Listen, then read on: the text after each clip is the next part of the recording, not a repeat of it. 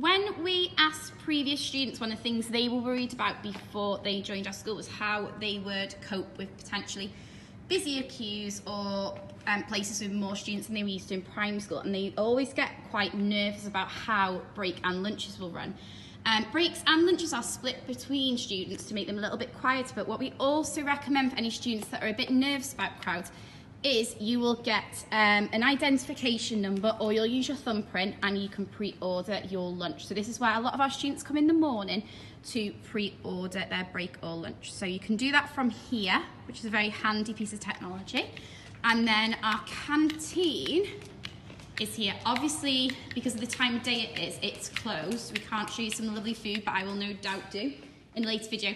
But this is our canteen. There is some outside space there as well, which you can sit in, um, no problem at all. So this is where you'll come at break and lunch for your um, food. If you've pre-ordered it, you can also pick that up outside. Um, but it's not too big and it doesn't get too busy because we obviously manage the queues as well, but I'm fully aware that might be something some year sixes might be a bit worried about because you might have heard it gets quite busy at times. So that is our canteen.